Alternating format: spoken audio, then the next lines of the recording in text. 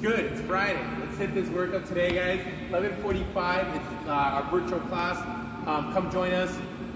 If you haven't um, been consistent lately, just because it's Friday, don't wait till Monday. Start today, guys. Hopefully, you had a good candidate week, but it's a good time to start. Let's build that new routine where it includes some more fitness and get you um, getting rid of some of that soreness um, as we're preparing to open. So can use this next coming days, weeks, um, as your transition to get ready to hit those workouts with us very soon. I'm to pass it over to Yash for the workout, guys. Um, and yeah, Yash, take it away. All right, guys. So for the workout today, uh, buy-in, two-minute hollow holds. We're gonna get that core fired up there. Uh, two minutes is kind of getting into that range where you're, you're gonna get into that burnout range. So if you can go two minutes, great. Try and do it. Um, maybe break it up into a minute uh, each time but try to get to that point where it's really kind of burning that core, but you're still maintaining that position. From there, we're gonna go into five rounds. So it's a lot of stop and go in this one. Uh, it's a lot of transitions. We're going 100 meter run, so you're going nice and fast out the gates, then coming back in, going for that alternating jumping lunges. Then back out to that run, come back in, work on a strength piece. We're gonna go alternating renegade rows with a dumbbell or kettlebell. Then 100 meter run, then finish off with Superman arch raises. So stop and go each time there, guys. Keeping that heart rate up in the run, and then coming back in for a strength component. Five rounds of that, guys. Let's see if we can aim between that 15 minute to 20 minute mark.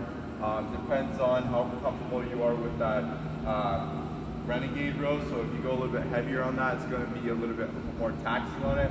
Also with that two minute hollow hold at the beginning, if you're still kind of getting into that hollow hold, still learning it, it might take a little bit longer, but that's okay.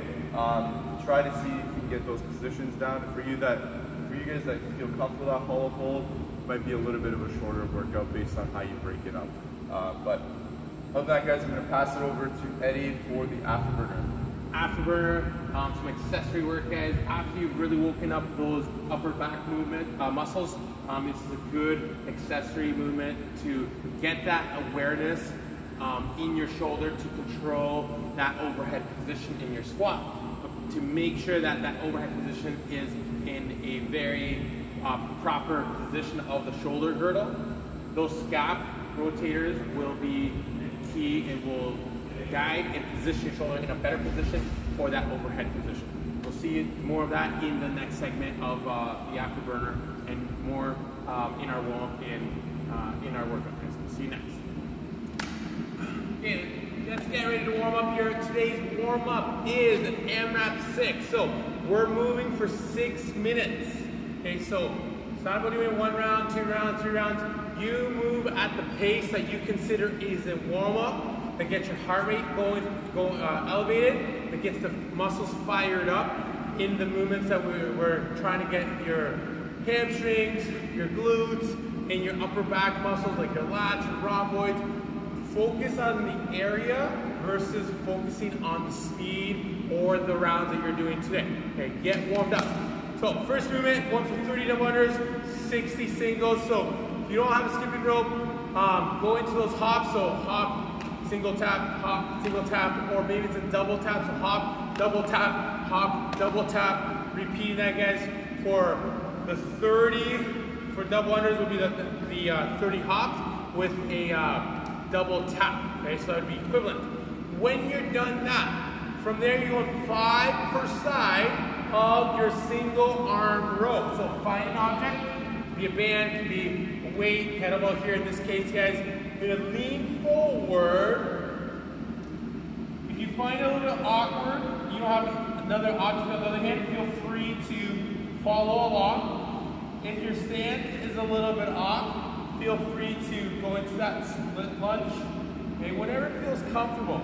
But the intention here is, again, squeeze your shoulder blade together, pull your shoulder blade back, start pulling that object by pushing and flexing your elbow, pushing your elbow to the ceiling without shrugging forward.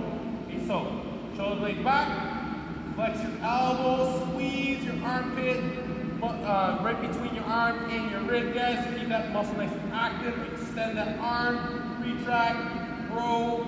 Again, going for five before you switch sides. After that, then you're going for five as well on both sides. your Bulgarian squat. To find an object that you can step back onto that is elevated, I'm choosing a smaller object because I know some of you guys may not have a taller object, but if possible, maybe it's a couch, maybe it's a chair, um, picking a higher object to allow you to get into your hip flexion a little bit better. Slower object, you just need to get longer, okay? From there, you're gonna go down, think about knee go straight to the floor, okay? Squeeze your butt to get that quad stretched out, then drive through your heel, uh, heel to activate your hamstrings. At all times, you guys, think about keeping your glutes nice and active so your pelvis is in a neutral position versus in this tilted position. So glute tight, core tight, as you're doing your Bulgarian squat, going for, again, five on both sides where you're trying to really fire up hamstrings and your glutes while keeping that core and hips in control, okay? And go for six minutes, get warmed up, hopefully that gets the heart rate going for you. Get ready for this warm up uh, workout. Sorry guys, hopefully you are warmed up after that warm up. Um, the buy-in today, as Yash mentioned, is a two minute hollow body hold. Now hollow body, you're trying to create your, your body within that banana shape guys, that kind of curved back uh, position where that lumbar, your low back is on the ground. It can be tricky to, what I see, we see all the time is the low back comes up, you engage the abs a little bit too much. So try to round your back. If that means you're grabbing your thighs or starting in a dead, dead bug position, whether it's legs up or knees bent, that's up to you. Bring your chest up like you've done a crunch. Okay, so a little crunch here. You can use a lot of arms or a little bit of arms. As you feeling comfortable with that, you can start challenging yourself uh, to lower your heels. You're gonna hold this position accumulating two minutes of your hollow body hold, okay? If you gotta take breaks, take breaks, but you're accumulating two minutes in that position, which is gonna fire up that core, um, and that's your buy-in today. Once you've done your hollow body position, now you're gonna go out for a run, for a 100 meter run. It's not just a jog, think about that's where you want to elevate your heart rate. So we're going to sprint out the door, we're going to sprint out to the 100 meter mark, guys. After you've completed 100 meters, then you're going into 15 alternating jumping lunges. Now, for progression for your jumping lunges, start by a more controlled movement by lunging both backwards or forward. So, gain your balance, back knee straight to the floor to allow you to keep that chin in control versus having your knee over your toes. So, shin in control by being perpendicular to the floor, then going up, switching sides. This is again just a more controlled regular lunge.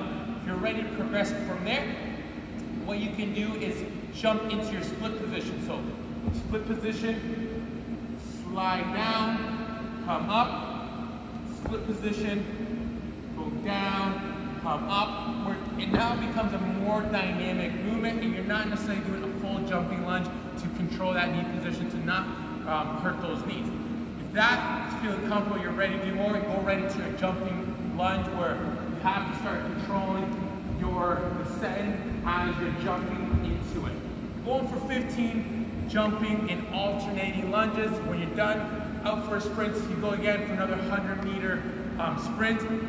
That one's gonna be a little bit trickier, legs are gonna feel a little heavier after those lunges. Once you come back, you're then going for 12 alternating renegade rows. So you're gonna need an object whether it be a plate, I'm using a dumbbell. Dumbbell is definitely a little bit more um, comfortable, more natural.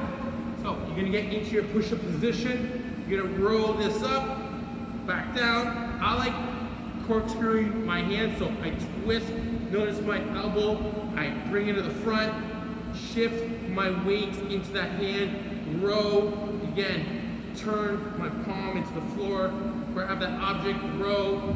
You go for 12 alternating renegade row where you push into the floor to stabilize. Keep that core tight so you're not twisting your body, guys.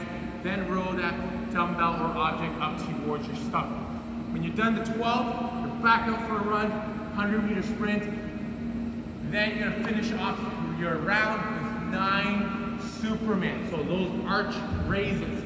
Arch raises are gonna be on the floor We started with a hollow body position. Now we're doing the same shape, but on our stomachs.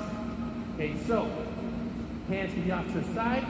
Think about lifting your chest, squeeze your bum, and flex your hamstrings. Avoid bending your knees. So push your heels to the ceiling as you squeeze your bum. Back down, again, squeeze your whole posterior. Back down for nine total. You can go arms overhead as well. Find a position that you're comfortable with. When you've done those nines, now you've done that one round, now you're gonna repeat it for five rounds total, okay? Starting with that sprint um, on round number two. Okay, hollow body is just done once, guys. Have fun with this workout. Um, this is a fun one for sure. It keeps you moving today, guys. Enjoy this workout. All right, guys, we're here for the afterburner, doing three rounds of 10 and 10 scap rotators, and then we're going into a 30 second overhead squat hold. So we've done overhead squat holds before.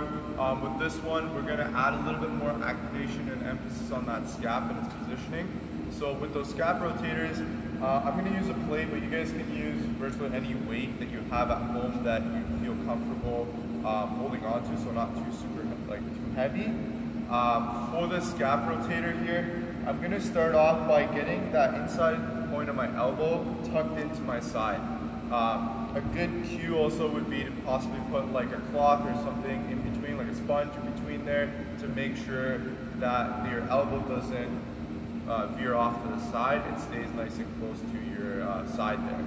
From there, with your weight guys, you're gonna pull that, you're gonna start with your uh, weight in the middle, so about your belly button. Then I want you to rotate that weight out as much as you can, go to the side. You might feel a little bit of a stretch in the back of the shoulder there. Um, most of the key points here is we want to feel it on that shoulder blade. So that upper back here, not in the traps, but a little bit lower region there, and in that mid back as we're twisting that object out. Make sure when you guys do that twist, we're not letting that shoulder kind of roll forward. Want to keep that shoulder down and really isolate that scap muscle on its own when we're doing those rotations. 10 per side, guys. Um, if you have bands, you can also do the same thing with a band. Uh, good resistance there is another way of doing it. 10 and 10 per side.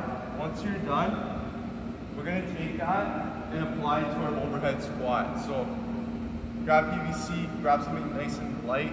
Um, preferably you can use like a broomstick, try and keep the object nice and straight. Once we're up here in this overhead position, so first make sure you're comfortable doing that pass through all the way through. A little bit sticky, but you can still keep those elbows locked out. From there, get that PVC or broomstick directly over top of your shoulder. So I'm in this overhead uh, position here. I want to keep it directly over top of the shoulders, not in front, all the way back here, right in that middle portion, the base of my neck there. From there, I'm to think about squeezing my shoulder blades together, kind of like when I was doing that rotation. So I'm going to squeeze them together, keep that tension, and then slowly overhead squat while maintaining that tension in my upper back. If you can only go to this position, stay there, hold it for 15 seconds, for two seconds, two sets there, then come back up to another set of that 15 seconds to get 30 seconds or you can do all 30 seconds at once. Um, if you find that it's difficult to do that overhead squat, you can also go for that overhead lunge and just come down to the bottom of the overhead lunge and hold that position. So we're keeping the legs active still here and still keeping the overhead position active. So in case you guys can't do that squat, you can also do an overhead lunge position. Most important thing is just make sure really trying to squeeze those shoulder blades in towards each other at the top to keep that bar secure overhead. Hope you guys enjoy the three rounds there. We'll see you guys tomorrow for the next one.